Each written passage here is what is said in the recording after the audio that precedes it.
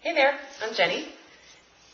Since Jeny's Surprisingly Stretchy Bind Off was published in Knitty a couple of weeks ago, I've been getting quite a few people asking me if there is an accompanying cast on.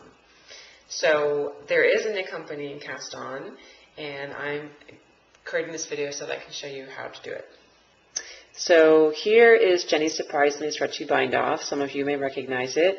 And the cast on is down here. This is Jeny's Surprisingly Stretchy Bind Off from the top. You'll recognize that it follows the ridges of the ribbing, and the cast on does the exact same thing. Um, and both of them are super, super elastic. So they're great partners. I'm actually going to start by showing you guys how to practice this cast on using your fingers without any, uh, without any needles. So this is basically a series of slip knots. So to do a slip knot, you take your yarn and you twist it so that the working end, this is, here's your short end, goes under and working end comes over. So you're going to start with that loop. In order to make a slip knot, you need to get this working yarn through this loop here. You need to come up through there.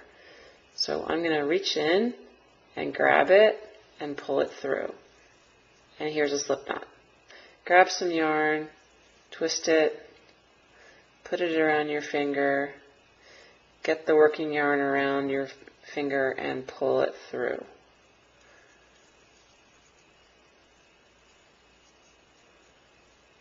Ta-da! Two slip knots. Let's do another one.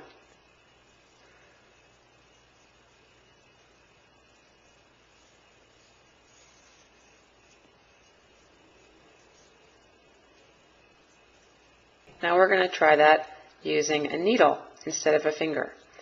So once again, just take your yarn and flip it into a loop. Put your needle inside the loop. Grab the working yarn and pull through the loop. Oops. And tighten. Slip knot number one. Now you know how Cat Bordhi likes to tell animal stories in her videos? I have an animal story for this particular video which is that if you look at sea lions on a beach, you may notice that they sit really close to each other. And we're going to pretend that these slip knots are all just a collection of sea lions. So what that means is the next time you do your next slip knot, you're going to snug it up right next to the first stitch, like that. And I'll show you why it's important in a minute.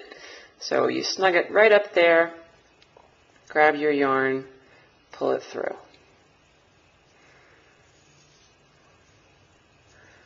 And once again, grab your yarn and pull it through. So I'm going to show you why it's important to think of these stitches as sea lions. Let's say that you're some other critter on the beach, and you don't want to be near those sea lions, so you're going to go way over here. Way over here. I'm going to grab my working yarn and pull it through, and pull mine up. So you still have a series of slip knots, but you have this huge gap. Now, most cast-ons, you can just push them together and then pull the working yarn, and the gap will go away, but not with this one. With this one, if you pull this yarn, the harder you pull this yarn, the tighter you're going to make this knot. You're still not going to make the slack go away.